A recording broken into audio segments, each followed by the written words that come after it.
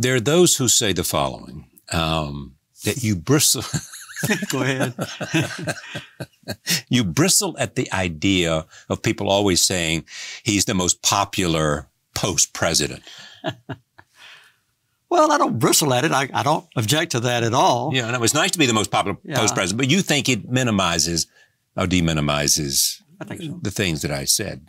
It does. You know, Camp David. We we Panama had some. We, nobody remembers how much challenge there was around the world.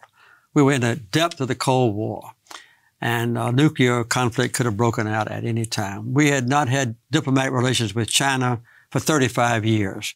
You're proud of the accomplishment you made in the four years, and you think it, it weighs as much as as the, uh, did your best you could. But do you think it weighs as much as as important as what you've done since then? I Why think not? It, I think it measures up very well with what any other president has done since then.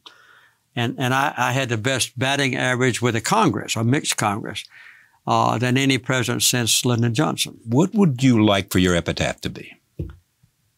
Oh, I, uh, I, am still concerned about the women's uh, abuse, but I would say peace and human rights. You know, we kept the peace. Uh, we never dropped a bomb. We never fired a missile. We never fired a bullet. And uh, we promoted peace for other people around the world when, as best I could. And we, and we respected human rights. And I think the human rights policy had a, a, an incredibly beneficial, benef- beneficial effect uh, in many parts of the world. For instance, I'll just give you one quick summary. When I was when I became president, almost every country in South America was a military dictatorship. You can just go down the line from Ecuador, Peru, Chile, Argentina, Uruguay, Paraguay, Brazil. They were all military dictatorships. We instituted a very strong human rights policy. And in five or six years, every one of those countries was a, was a, a democracy. Not because of me, but because of their awareness that human rights could prevail. And they were heroic. And instead of sending military forces from the United States down to protect the dictators, uh, we encourage the indigenous Indians and the poor people and the freedom-loving people to uh, hmm. to establish a democracy. So that was one, you know, kind of uh, indirect result of a strong human rights policy. When you look back, you're proudest of what? I think, generically speaking, I'm proudest of a human rights policy because of the profound impact it had all over the world, particularly in this hemisphere. You have to remember that when I became president, almost all of the South American countries were military dictatorships. And, and we intruded in a beneficent way, I believe, in their internal affairs to promote human rights.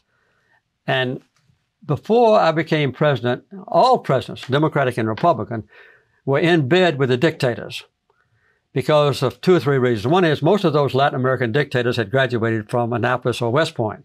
They were, they were fluent in English. And, and they had worked out very lucrative business agreements with the corporations in America on because they, they got a monopoly in effect on bananas and and on pineapple and on zinc and iron ore and, and mm-hmm. bauxite and, and so forth. And whenever there was any disturbance in those countries from indigenous Indians or from you might say liberals or, or low or poor people, then the United States took the position these are communists and we're going to keep them from challenging our dictator friend. Mm-hmm. And, and, that's where it was. And, and so sometimes we would even send Marines and Army in there to protect our dictator friends. I didn't like that idea. So we changed that. And within a couple of years after I left White House, every country in South America was a democracy. Mm. And and also a commitment to human rights is what you have made, you know, a, a kind of mission in your post well, that's presidential true. Well, all, all, my life, all, in, as a governor in civil rights and, and, and as human rights around the world, yes. So that you, you asked me what I thought. Generically, I think that's a, that was the most important. And the biggest mistake, and because you write in here that you tell us, you know, how you saw everything, including the mistakes. Well, I, I made mistakes, but let me say one other thing in, in answer to the first question. And I think the thing that has affected international commerce and trade and politics most was my normalizing diplomatic relations with China in uh, 1st of January 79. I think that, and, and three days after uh, Deng Xiaoping and I announced normalization. That was the 15th of December. That same week, he announced reform and openness, which, which changed the whole structure and, and culture of the of the People's Republic of China. So now China is is yeah. is almost universal in their influence, and they've changed almost everything that's going on in China. That was very important. Whether it's Panama Canal or whether it's the Middle East and Israeli-Egyptian peace conference and Camp David success, where do you put the normalization of relations with China? I would put it at or near the top, because at that time, Charlie, it was a very um, difficult thing to do. The the Taiwan lobby was just as powerful then as the Israeli lobby has ever been. I mean, it was a powerful force. And after Nixon went there in 72, he did announce that there was only one China, but he never would say which China. Mm-hmm. And it continued to be Taiwan.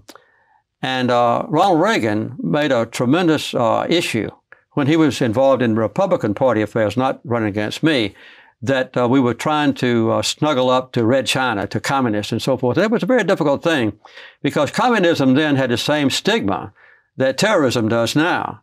But so I normalized relations with Red China, the communist, you know, monarchy there, uh, and and uh, oligarchy, and and uh, whatever you call it, I forget the word. But anyway, the Communist Party, and uh, and that was not easy to do. But I but the Congress had nothing to say about it. I could do it unilaterally, and I did. Ted and, Kennedy. Ted Kennedy ran and, and uh, against me. I was as incumbent president, and he never gave up. And all the way through the convention, you know, when I got the nomination, the convention you chased he, him around on the well, podium. he refused to shake hands with me, even uh, in front of their. How did you feel at that moment? Uh, well, I was happy having gotten the nomination, but I was kind of peeved about it. And and then after that, there was no reconciliation. I mean, the the, the liberal. They didn't say you won, and so therefore we'll support you. No, they didn't support me ever. Never. I mean, the, the Kennedy wing of the Democratic Party never supported me. You just said Bill Clinton did a superb job as president. Yes, he did. Do you think your president, you did a superb job as president? I wouldn't say superb. I did a good job. Yeah. What's the difference? What, what, what, what did you not do or did you do badly that would have changed it from being good to superb? The, the number one thing that comes to my mind? Yes. Getting reelected. Yeah a second term would have been, I, in my opinion, uh, in a second term, I could have consummated permanently the peace agreement that I worked out at Camp David. Right. And, and, and that was abandoned by, by, by Ronald Reagan. Right. I'm not, well, it was abandoned right. by him. And it never was resurrected. I think we could have peace in the Middle East. And uh, the environmental issues that we established, uh, I think we could have uh, completed them. No longer is when you talk of Jimmy Carter is the next two words failed presidency. That's beginning to change. Part of it is about post-presidential activities also, but looking back at some of the things that you wanted to do that weren't able to do. Did you know that was possible? Did you? Yeah. Well, first of all, giant you know, I, I assess my own uh, presidency as a successful right. presidency. So they never a lot of people persuaded you that this was a failed no, presidency. it wasn't. I mean, we had some notable achievements there, but but I wanted a second term and didn't get it, and so there was uh, there were some pin up uh, ambitions in my life that have been partially realized, at least at the at the Carter Center. The thing that, that troubles me, the reason I wrote this book, most Americans don't know that there are 34 major wars right. going on right now. Most Americans don't know what causes wars most Americans don't know how peace and democracy and freedom and human rights and the alleviation of suffering are inextricably entwined. Most people don't know the basic techniques of resolving or preventing a conflict that apply not only in Sudan or Somalia, but also apply in the local home or in a high school or in a college environment or in a ghetto neighborhood. The same principles apply. Conflict resolution. Conflict resolution. There's some very simple but intriguing of facts there. And the last thing that I reason I wrote this book is is that uh, people underestimate what young people can do. The teenagers in high school and college can transform the policies of a nation. My oldest, my sons grew up during the late '60s. They were in, in that age group, and, and we saw that it was the young people who got us out of Vietnam.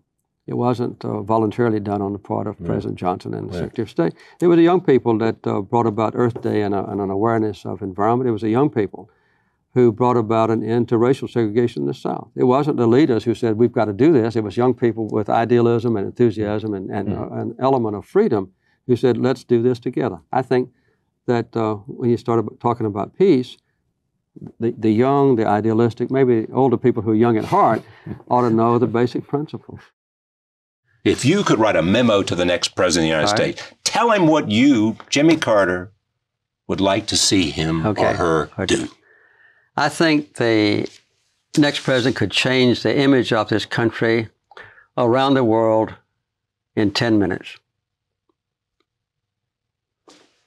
by making an inaugural speech that would start off and say, as long as I'm president, we will never torture another prisoner.